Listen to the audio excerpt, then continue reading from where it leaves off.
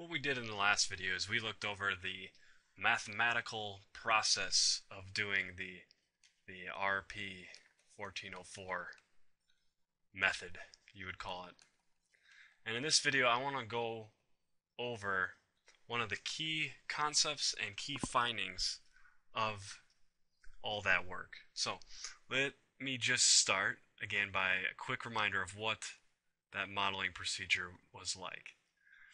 So again, we started with the assumption that we had monthly utility bills for at least a year. So this building has been operating in a very similar manner for some time now, and that we can get some weather dependent model across the entire range of temperatures where this is the average average temperature of the month and this would be the energy use per day for each month. So let's say, just for an example, let's say this was July and they had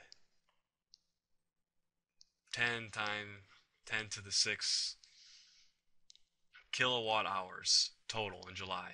Well, to get this data point, we would go ahead and we would divide it by 31 days.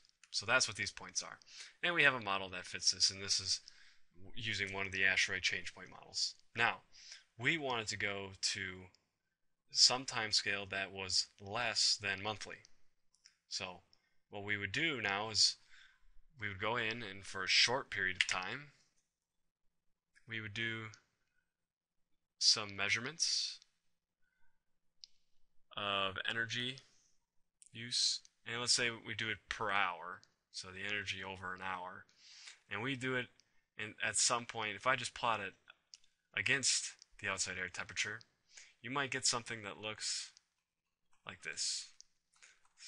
So say we only we took it for two weeks and the temperature only ranged from 50 degrees F to 70 degrees F. What the RP 1404 method does is it allows you to take this information here, combine it with the information of this, and you can essentially fill out the model for all the timestamps at the hourly level. So let me pull in some plots just to maybe make this more clear than my poor drawing ability. Say for instance here is the whole building electricity consumption versus outdoor dry bulb temperature. And this is coming from a simulator. This is a large office building. So this is the amount of energy used in an hour. So it's consumption every hour. And if you took that data and you let me grab this and you aggregated it up, you would get a monthly signature that looks like this. So you'd get you would get a model that would go through points and go up like that. Now, an important consideration then is at what time of the year should you take this data? So, for instance, let's say we go for two weeks. You could take that two weeks from January 1st through January 14th, January 2nd through January 15th, all the way to December 15th through, uh, I guess, December 29th, all the way to whatever this would be, December 17th through December 31st. You have all these different options. And if you step by a day, that would be 8,760 of them for the whole year. Now, we didn't just also limit it to just two weeks. We started and we did testing with the full year model, so 12 months, and we just started dropping down 11 months 10 months 9 months. Let me scroll down. All the way down to 3 weeks. And the lowest amount we tested was 2 weeks of data. So for every length of monitoring and start date we would get a model and so you really had the number of models we had for one building was 8,760 starting days times we had 12 down to one month plus three weeks and two weeks times 14 lengths. If you do the math for that, my apologies, I actually made a mistake. There's 8,760 hours in a year. There's 365 days.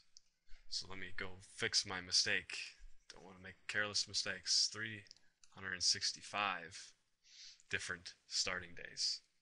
And if you did this math, you ended up getting 5,110 models.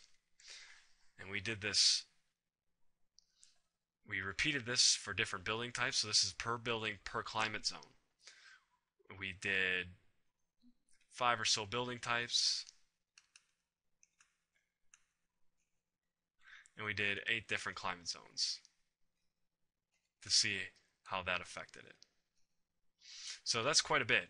25,000 times 4, 200,000 plus ordinary least squares models. So that's quite a bit. So we did a lot of programming in order to do this. But now you have all this information. How do you possibly go about analyzing it in some sort of fashion? Well, what that work did is we made something we called a color area plot. It's really a two-dimensional color plot of the results. So the things we were interested in for these models were the coefficient of variation, which is an indicator of the spread, and the normalized mean bias error is an indicator of bias. Whether or not you over-predicted or under-predicted, this is an indicator of how accurately you could predict an individual data point. So what we did to analyze this is we said, okay, for one building, let's say a large office building, like I just showed you before, we can go ahead and we can make this plot. And this is what the axes are going to be.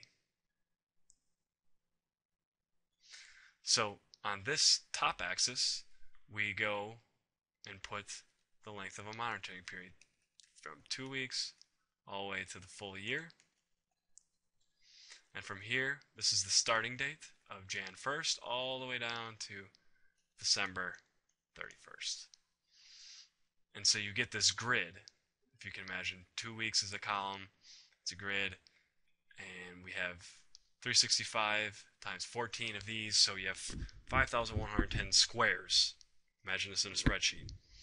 And what we did is we said, okay, if we took the two-week model starting January 1st, and we got a CV value, and we said we had a CV value that was relatively high, that's bad, we would mark this red. If we had a CV value that was good or low, we would mark that cell green. And we would look at the patterns. And we also, so we this would be a plot for just one of the regression outputs. So we would do a plot for CV and we would do one for, for bias. So actually, let me bring one of these plots over because I think that will be much more clear. So here we go. I actually need to zoom out a little bit.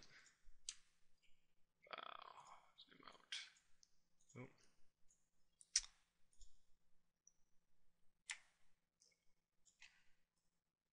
Okay, here we go. So, notice this is for a large office building, and it's for CVs, and here are the eight different climate zones. So each one of these strips has 5,110 different cells Green is a good model, red is a bad model. And here's the starting date. And the left side of this plot will be two weeks and the right side is green because it's for the full year. So this makes sense in a lot of in a lot of ways. So on the very far right side of each strip, you notice it's all green because that is using a full year of hourly data. So that's really the baseline for all of this.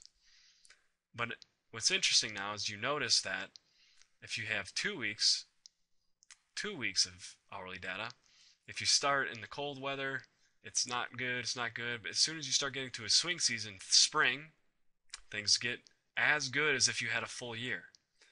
then you go into the summertime, it's hot, and it's not as good, it's not as good, and then you get to the swing season in fall. And again, you're getting models that are just as good as the full year, and, and so on and so forth. And you see this pattern across all of them. The other pattern you see is that you get this, this arm here, this shape, and there's a good reason for, for why that is. What makes for a good model, what we found, is if the average temperature for the period you were looking at was close to the average for the whole year and if the range in temperature for your period peri, period was as large as possible. And so if I go back to that plot, if I bring this back in, if you have six months of data and you want the average to match the year, well, you have to start this process earlier. And so that's why this arm keeps going up. Try and, try and wrap your head around this, right? So if you can imagine, this is the shortest part. Actually, let me let me draw this. Let me draw this on on, on here. So what we were getting is something that looked like that. So at two weeks, the the range of dates you had is much smaller.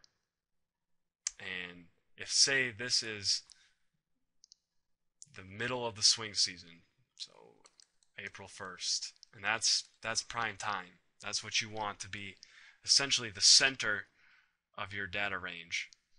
Well, if we go here and we have say 4 months, right?